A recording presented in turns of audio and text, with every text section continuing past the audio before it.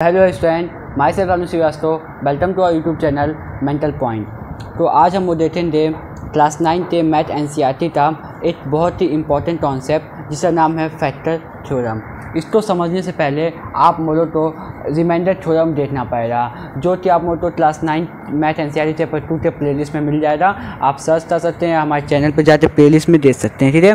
तो आप उसको देख लेंगे तो ये आपके लिए बहुत ईजी हो जाएगा। ठीक है? तो आइए फैक्टर थ्योरम का स्टेटमेंट देखते हैं, क्या कह रहा है। तो ये कह रहा है let P S be a polynomial एक मिनट। ये कह रहा है let P S be a polynomial of degree greater और equal to one and and be a real number such that P A equals to zero ठीक है? तो ये कह रहा है कि एक कोई पॉलिनोमियल है, हम तो कोई लेफ़्ट करना है पॉलिनोमियल पी एस जिसकी जो हाईएस्ट डिग्री है, वो वन हो या वन से ज़्यादा हो। ठीक है?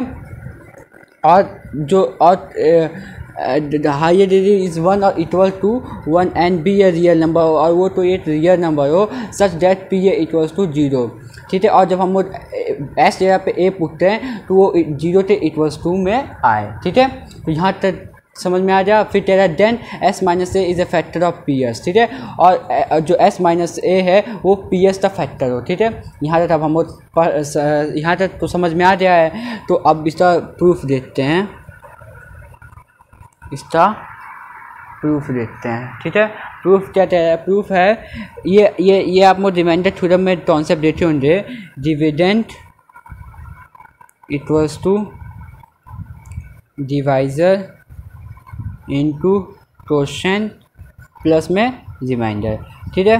तो हम कोई वो डिविडेंड देते हैं पी एस इसको कोई डिवाइज़र एच माइनस ए से मल्टीप्लाई कर देते हैं। डिवाइड करते हैं। और कोई क्वेश्चन क्यू एस क्वेश्चन से इसको मल्टीप्लाई कर देते हैं। और प्लस आर एस रिमाइंडर से इसको प्लस कर देते हैं, ठीक है?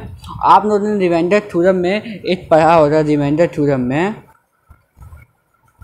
रिमाइंडर थ्योरम में ये ये वाला पी ए का पढ़ा था ना कि जहाँ पे हम जब एस की वैल्यू निकाल, निकालते थे और पी पी ए पुट करते मतलब ऐसे यहाँ पे ए पुट करते तो जो हमारा रिमाइंडर आता था, वो पी ए आता था। और यहाँ पे मतलब पी ए की वैल्यू ज़ीरो दी हुई है तो यहाँ पे मतलब रिमाइंडर हम ज़ीरो दिया हुआ है तो इसको हम ज़ीरो दे सकते हैं। तो इसको हम कैसे लिखेंगे एक्स माइनस ए ये पी एच हो जाएगा। P H equals to S minus A into Q H क्योंकि आर एस की वैल्यू ज़ीरो ही है। ठीक है? और ये जो इस, ये ये ये जो दोनों दोनों का मल्टीपल जो है, ये इससे इक्वल है। मतलब जैसे हम कोई एट एग्ज़ाम्पल हैं एट एट का मल्टीपल क्या होता है? फैक्टर क्या होता है? फैक्टर क्या होता है? टू इंटू फोर ये जो जो टू इंटू जो टू और फोर ये दोनों इसका फैक्टर है। मतलब ये दोनों जो मल्टीपल है, ये इसका फैक्टर है। ठीक है?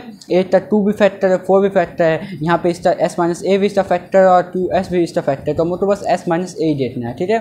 तो यहाँ तो हम होता है इसका, ये हम होता है यहाँ का प्रूफ हो जाए इसका। कि क्या होता है फैक्टर थ्योरम ठीक है? ये हमारा यहाँ तक प्रूफ हो गया, ठीक है?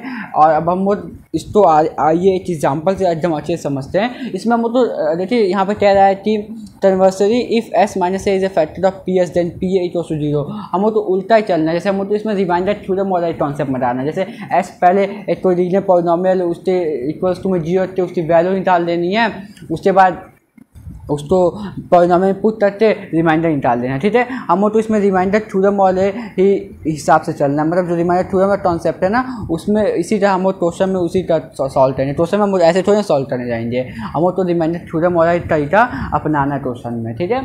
तो आप लोग प्लीज़ जाके रिमाइंडर थ्योरम वाला कॉन्सेप्ट की वीडियो ज़रूर देखिए चैनल पे अपलोडेड ऑलरेडी है, ठीक है?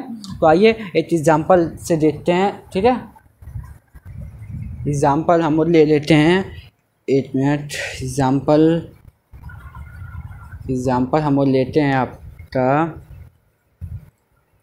कि check X minus one is factor of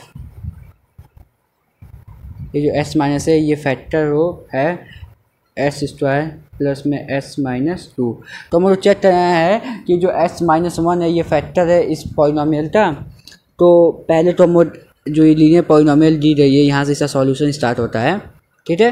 तो जो हम ये linear polynomial S minus one दी रही है, इससे इक्वल्स टू में ज़ीरो रखेंगे एस की वैल्यू हमारी आ जाएगी प्लस वन ठीक है? और इस पॉलिनोमियल में वन पुट देने तो P S equals to S square plus में एक्स माइनस टू अब यहाँ पे वन पुट कर देंगे तो तो एस यहाँ पे वन आ जाएगा तो वन का स्क्वायर प्लस में वन माइनस में टू तो आ जाए one test by one plus में वन माइनस में टू तो वन प्लस वन टू यहाँ पे मैं सॉल्व करता हूँ इसको. वन प्लस वन टू और टू और ये माइनस में टू है. ऑलरेडी है तो two minus two equals to zero. तो हमारा रिमाइंडर जो है, वो ज़ीरो आया है। तो इसका मतलब है, ये फैक्टर है इसका। मतलब ये जो एस माइनस वन है, ये इसका फैक्टर है, ठीक है? अगर हमारा रिमाइंडर ज़ीरो के अलावा तो और वैल्यू आती तो हमारा तब ये इसका फैक्टर नहीं रहता, ठीक है? अगर हमारा रिमाइंडर ज़ीरो आ रहा है तो ये हमारा इसका फैक्टर है, ठीक है? तो ये पूरा रिमाइंडर थ्योरम और पूरा बेस्ड कि पहले हम तो लीनियर पॉलिनोमियल की वैल्यू निकालनी है एस टी वैल्यू डालनी फिर पॉलिनोमियल पुट करके रिमाइंडर निकाल देना ठीक है? तो यहाँ, ये हमारा था फैक्टर थ्योरम फैक्टर थ्योरम वही होता है मतलब जैसे कोई फैक्टर है, मान लीजिए फिफ्टीन इसका फैक्टर क्या होता है फाइव इंटू थ्री ठीक है? तो यही सर दोनों फैक्टर मतलब मल्टीपल इन दोनों मल्टीप्लाई करेंगे तो हमारा जो वैल्यू आएगी वो मतलब जो मल्टीप्लाई करेंगे तो फाइव इंटू थ्री तो हमारा फिफ्टीन आएगी तो दोनों का मल्टीपल जो है, ये इक्वल्स टू में स्टे है। और ये फाइव भी फिफ्टीन का फैक्टर है थ्री भी फिफ्टीन का फैक्टर है। ठीक है, यही फैक्टर थ्योरम होता है। और इस क्वेश्चन में हम तो ये रिमाइंडर थ्योरम और कॉन्सेप्ट लेके चलना है। ठीक है तो आप रिमाइंडर थ्योरम और कॉन्सेप्ट एक बार ज़रूर देखिएगा। ठीक है, वो आपके लिए बहुत सही रहेगी। ठीक है रिमाइंडर थ्योरम और कॉन्सेप्ट आप मुझे एक बार देख लीजिएगा प्लीज़ ठीक है तो इस, ये तो ये कॉन्सेप्ट हमारे यहीं पर ख़त्म होता है। मिलते हैं नेक्स्ट वीडियो लेक्चर में। तब तक के लिए bye bye class thank you